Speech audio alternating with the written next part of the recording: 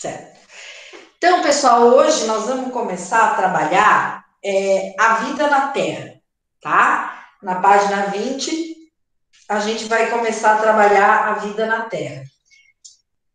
Para trabalhar a vida na Terra, a gente tem que estudar um pouquinho o nosso planeta, né? Então, o nosso planeta, ele é formado pela litosfera, tá? Litosfera. Então, aqui, ó, nosso planeta. Ele é formado pela litosfera, pela hidrosfera,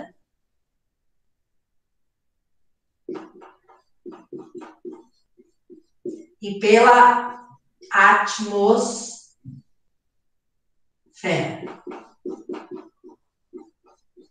Certo?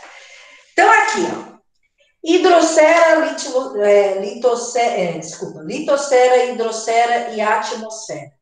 A litosfera, vocês têm aí no livrinho de vocês, vocês devem estar acompanhando, acompanhando é formada, é, o que, que é essa litosfera? Quem saberia dizer o que, que é a litosfera? Vocês talvez já tenham até estudado um pouquinho sobre isso no ensino fundamental 1. Quem saberia? É, é a camada sólida externa do planeta. É a camada sólida, é a camada mais externa do planeta. E ela é formada por que coisas? Do que, que ela é formada?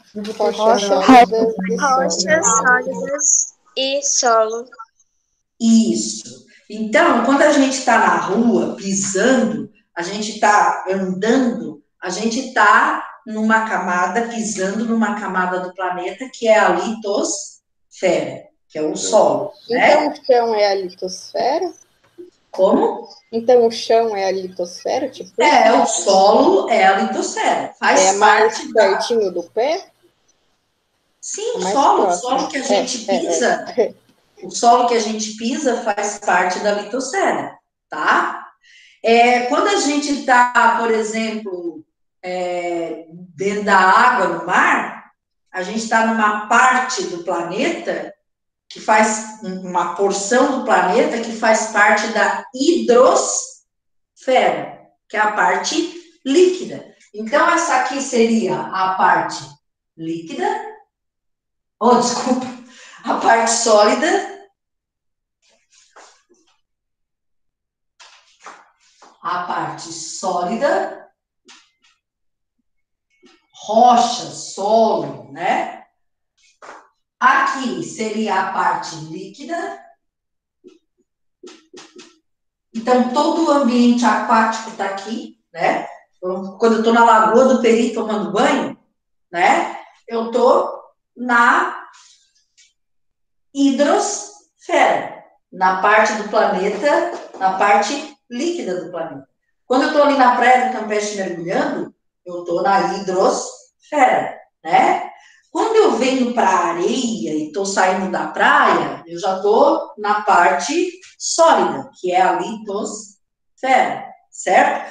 Mas mesmo quando eu estou lá na praia, na lagoa, etc e tal, o que está me envolvendo? O que está me envolvendo é a parte gasosa, Litos. Ah, gasosa. que é a atmosfera. Certo? Entenderam? Hein? Sim. Então, toda a Sim, parte sim. Sim. Tá. Toda a parte sólida, né, faz parte da litosfera. Prof, Oi. perguntaram ali no chat. Se a gente tá dentro do rio e a gente pisa no fundo, é, vai ser a litosfera ou vai continuar sendo a hidrosfera? O que, que vocês acham? A gente Eu não não sei, tá- foi outra pessoa que perguntou. a gente está pisando lá no solo, é duro, é sólido, não é? Então é litosfera, É litosfera. E a gente está envolvido por água. que é a hidrosfera. E ainda por cima, a gente está respirando, porque a gente está com a cabeça para fora, né? A não sei que a gente esteja lá mergulhando, mas se a gente tiver com a cabeça para fora, a gente está Atmosfera. pela atmosfera. Certo? Então, são essas três partes que compõem o nosso planeta: a litosfera, a hidrosfera e a atmosfera, certo? Bom, mas aí a gente tem uma outra camada. E essa outra camada, ela pode estar na litosfera, na hidrosfera e na atmosfera. Certo? Ah, mas como que pode isso? Pode.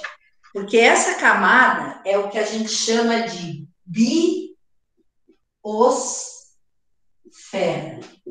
Tá? Ó, gente, biosfera. Bio significa vida. Certo? Então, se eu tô lá na litosfera, certo? Vamos pensar agora na litosfera, a parte sólida do nosso planeta, certo? Então, assim, vamos imaginar o solo, tá? Então, no solo, até onde no solo eu encontro algum tipo de vida, e quando eu falo vida, não é só nós, assim, é vida, né? É vida, vida microscópica e tudo mais.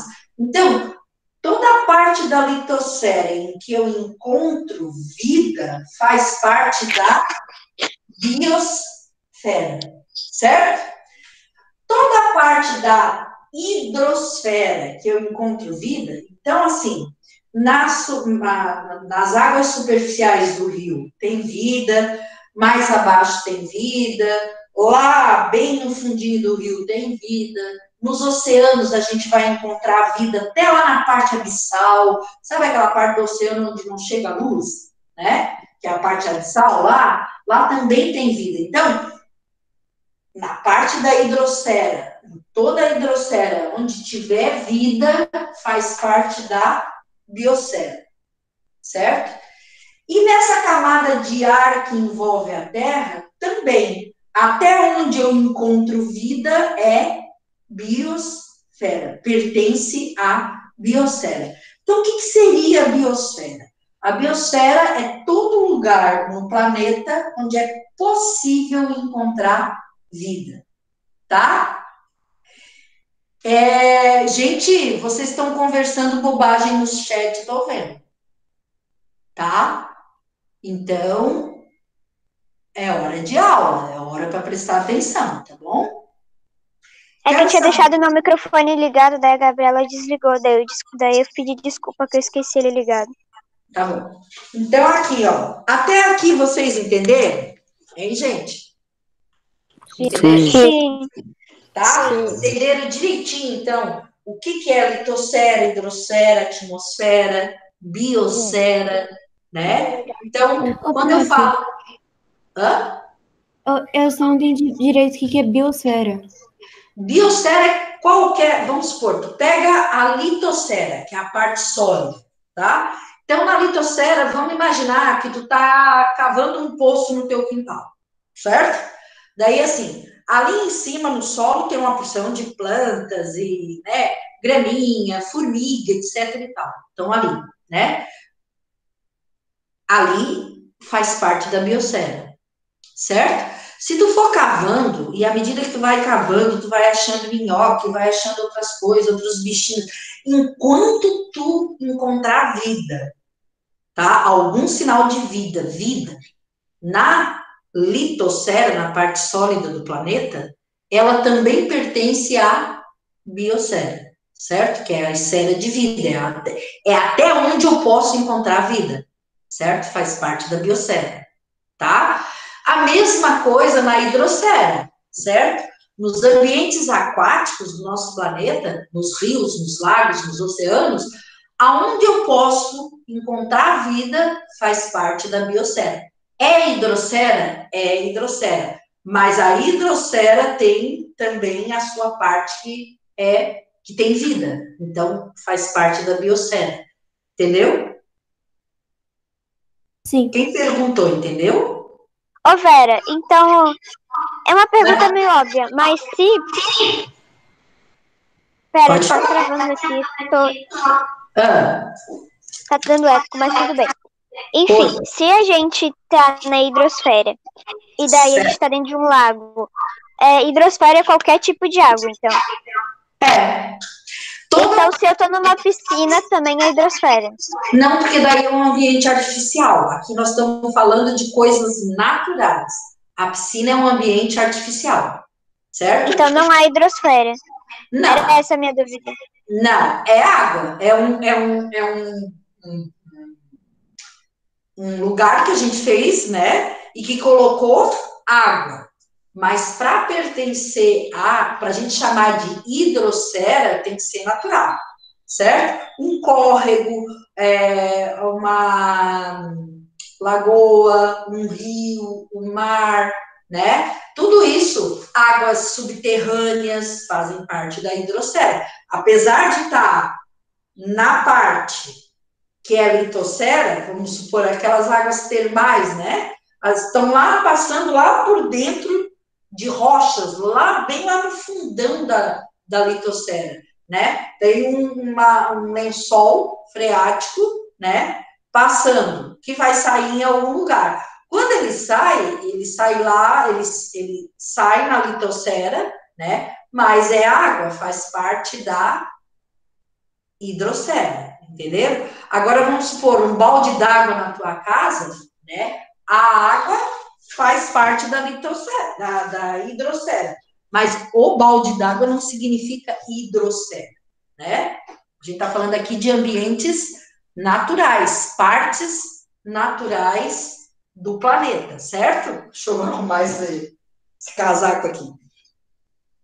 Tá certo? Todo mundo entendeu? Sim, sim. Então a gente está falando de coisas naturais, né? Não de coisas produzidas pelo homem, né? Tá? É, Gente, me diga uma coisa aqui, ó. Vamos ver. É, As condições para a vida na Terra.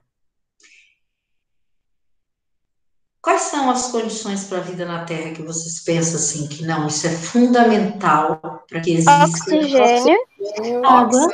Comida. água e comida. e Comida, uma temperatura também, gente. Família. Né?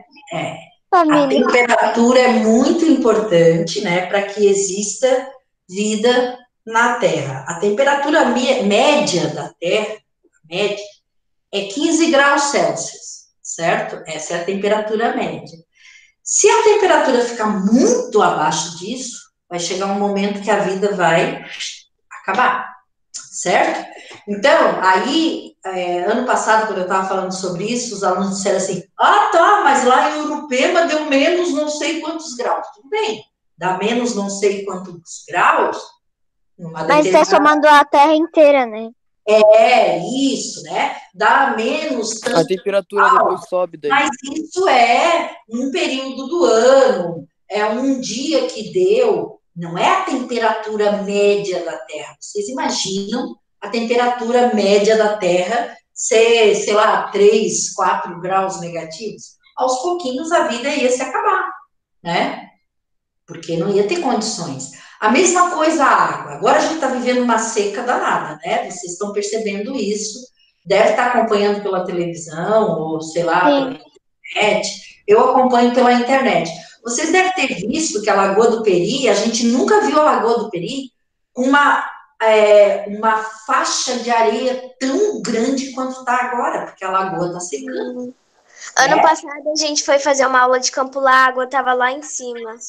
Pois é, e agora tá muito seco, né? Faz dias que não chove, né? Um tempão, dá aquela chuvinha assim que mal molha o solo, daí já vem o sol e evapora a água, e essa chuva não vem, né? E a gente sabe que a gente precisa de água. Se a gente for, eu observo aqui o meu quintal, né? É, Lembra que eu falei para vocês que eu tenho uma cisterna, né, para recolher água da chuva, para usar na horta, para usar, é, lavar calçada e tudo mais. Não tem mais água na minha caixa reserva, certo? Acabou. Então, assim, acabou. Daí eu não vou usar a água da Casan para molhar a horta. E paciência, a horta foi.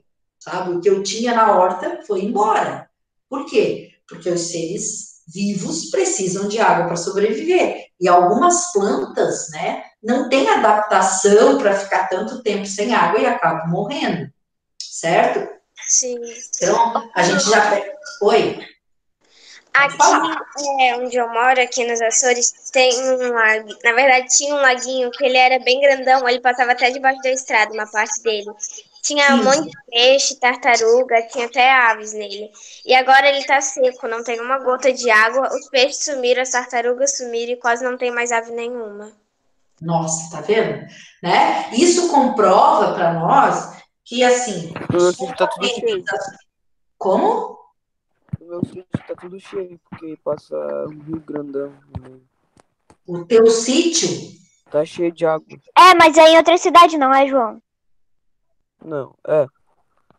Então, então daí. É que a- aqui onde abastece a nossa o sul da ilha, tá, sem, tá ficando sem água. Por isso É. que a gente tá economizando.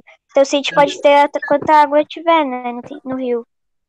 tem, tem que economizar muita, muita água agora. Tem, mas o rio dele tem bastante, então não é, É. a mesma situação aqui. Não, é outra situação, né? Deve ser também assim um lugar que a mata ciliar é bem preservada, porque quando a mata ciliar é bem preservada, é, a- o manancial, o local consegue, né, guardar mais água, né? É, e talvez também seja, não sei, não sei onde é que é, né? Em que local, em que lugar que é. Talvez tenha chovido mais do que aqui, né? Prof, Mas enfim, oi. Aqui em casa tá tudo tão seco que a grama anda ficando amarela e a torneira que fica lá no quintal, que não é ligada na caixa d'água, todos os dias, todas as tardes, falta água, e daí lá não sai água nenhuma. Nenhuma. Mas é isso mesmo, é isso mesmo. Aqui, durante o dia, no meu condomínio, tinha sempre água, né? Agora a caixa esvazia e a água só vem lá pela uma e meia da manhã, duas horas da manhã, é que vem a água, né? Aqui em casa, todo dia à tarde acaba a água, só volta de noite, sabe? Começa de manhã, tem água, à tarde não tem mais. Pois é, então tem que economizar muito mesmo. Mas aí a gente vê, né? Então, assim, a atmosfera, né? Hoje, por exemplo, eu estava dando aula para o oitavo ano e estava mostrando para eles o seguinte, o quanto o oxigênio né, é importante, certo? Então, assim, nós, seres humanos, e a maioria dos seres vivos, né, respiram o oxigênio que tem no ar. A gente tem um sistema, né, respiratório que consegue captar o oxigênio do ar e levar até lá as nossas células, certo?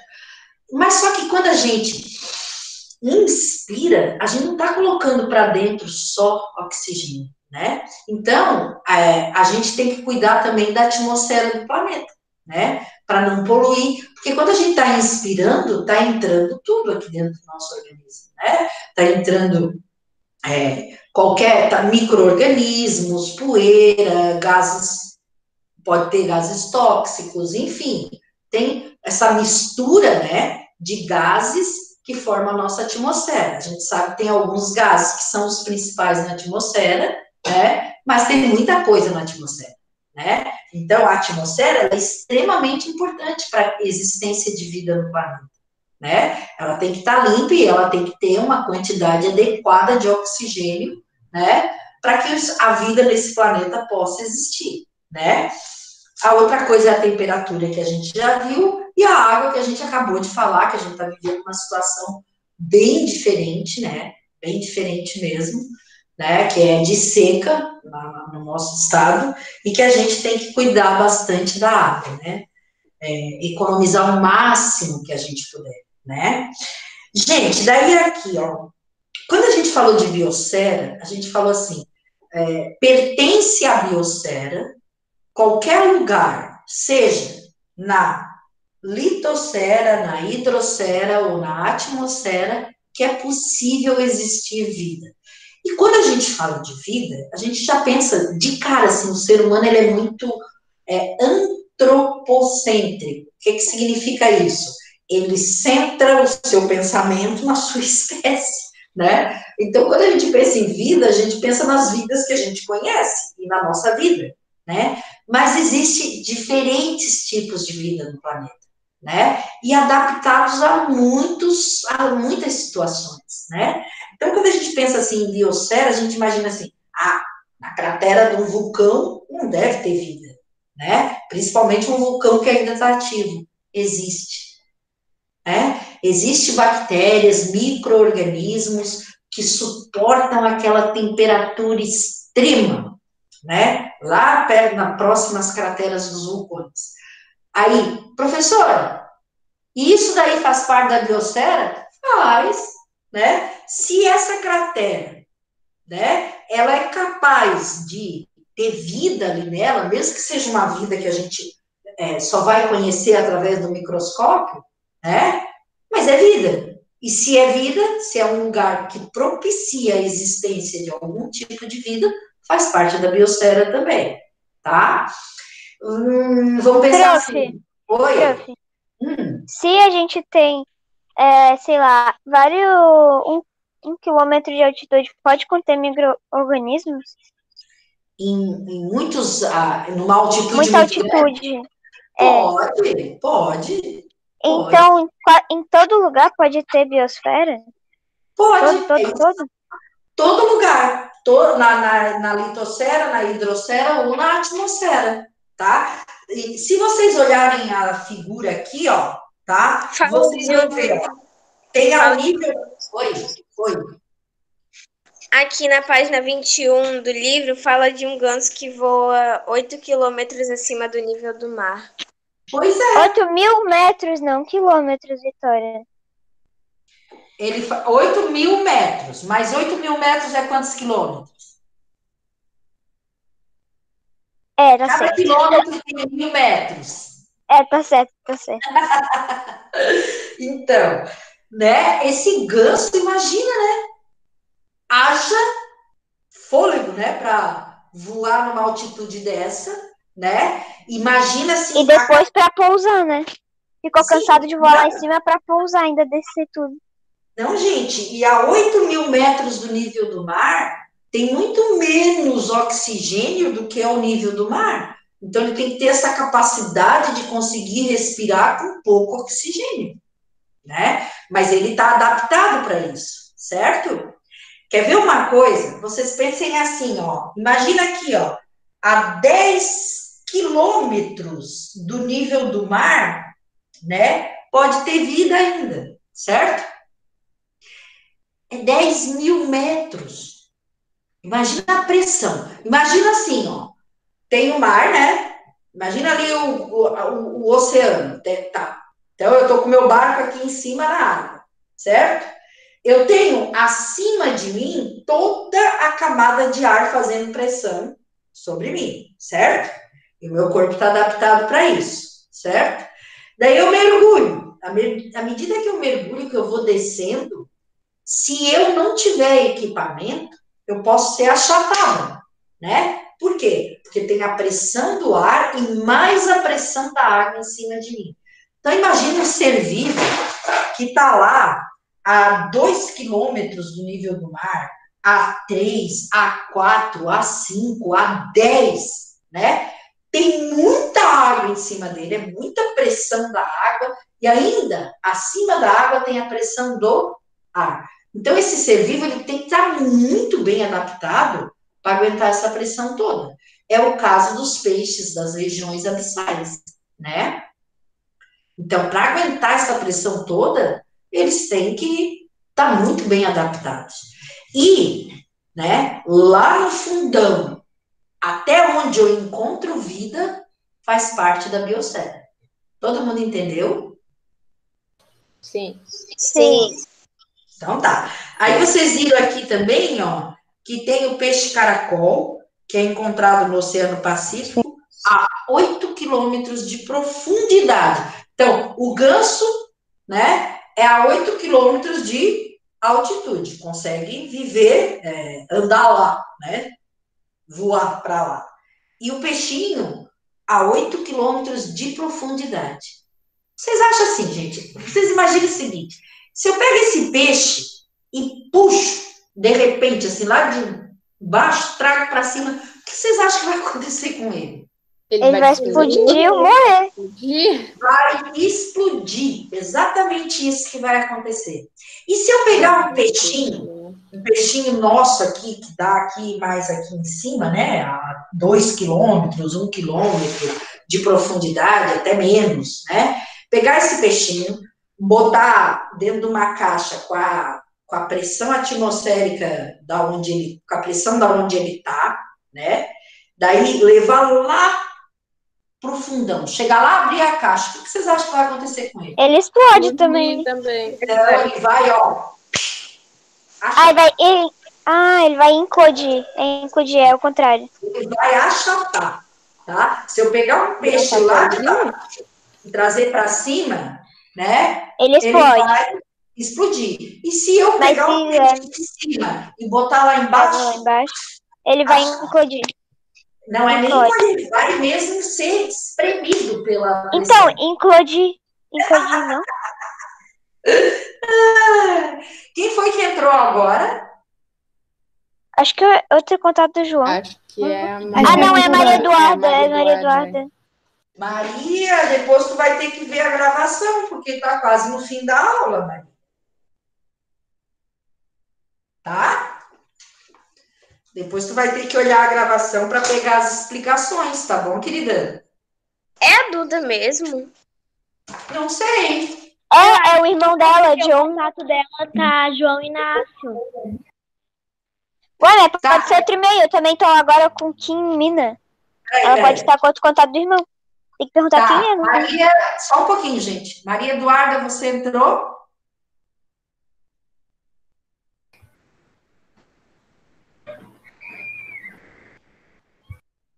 É a Maria Eduarda falando no chat. Falando no chat. É a Maria Eduarda mesmo? Sim. Ela falou no chat. Sim. Tá. Então, gente, é, a gente tem aula hoje até 11h05, tá? Então ainda tem um tempinho. Tem Então, 10 vamos lá. minutos. Até aqui, todo mundo entendeu, é, não tem, dê uma olhadinha aí, né? É, dê uma olhada, vê se entenderam tudo, se tá tudo certo, se tem alguma pergunta para fazer, tá? Ô, professor, achei estranho uma coisa. Oi. É assim, é, tu falou que se a gente pegar aquele peixe lá e trazer ele aqui pra cima, ele vai explodir. Hum. E aqui na imagem dele, eh, parece que ele não tá na água e ele tá normal. Não, mas ele tá, é porque ele tá no fundo, né? Ah, tá. ele tá aqui no fundo e não, e ele tá normal mesmo. No ambiente dele, ele tá normal. Vocês já viram no, no- Dá pra na- perceber que ele não tá na terra por causa que eu tava vendo as- ele dá pra ver que ele não tá senão Não daria pra ver a sombra. Isso. Tem um jogo, tem um jogo que é de PC, que não precisa se É. instalar de web, assim. E ele é, ele tem a ver porque a gente a gente tem a vida na atmosfera, tem a É. vida na litosfera e tem a vida na hidrosfera. Daí a gente pode virando as espécies a cada evolução que a gente consegue, né? Daí a gente vai para um habitat. E daí, nesse habitat, se a gente for para outro mais fundo, a gente vai morrendo por causa da pressão. Então a gente tem que correr pro nosso de volta. E ele é assim, a gente não pode ficar fora do nosso. Sei, sei, é um joguinho do É de- né? É de É o Descenders. o nome. Ah, que legal! Tem tudo a ver com esse conteúdo. O né? nome é Deep.io. Como é que é o nome? Deep.io. Como se escreve, como se escrevesse fundo em inglês, diep.io. Ponto .io. Ah, Só que escreve legal! no chat. Escreve no Assim, chat. ó.